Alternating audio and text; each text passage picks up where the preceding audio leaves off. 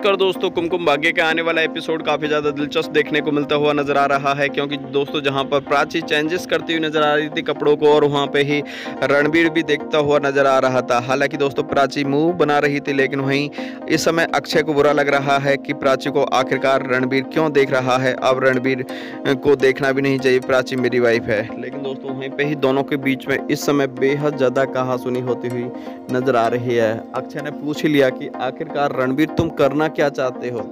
जब मैंने तुम्हें पहले प्यार में बोल दिया कि तुम प्राची के अब करीब भी मत आओ, और लेकिन तुम इस चीज़ को समझने की कोशिश कर ही नहीं रहे हो, हमारी दोनों की हाथापाई हो, इसमें सभी लोग देखेंगे, इससे अच्छा नहीं लगेगा, तुम ऐसा बिल्कुल भी मत करो।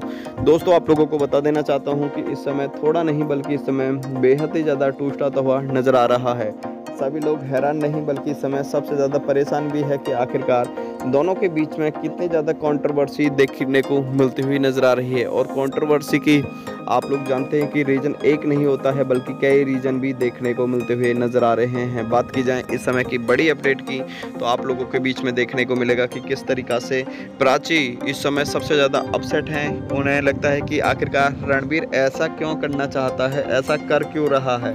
क्योंकि दोस्तों, वाकई में आप लोग जानते हैं कि रणबीर की इस समय बेहद ज़्यादा गलती है और रणबीर को इस गलती के लिए पनिश भी किया जा सकता है। आप लोग जानते ही हैं कि कहानी थोड़ा नहीं बल्कि इस समय बेहद ही ज़्यादा टूस्ट लगातार आता हुआ नज़र आ रहा है कहानी के अंदर।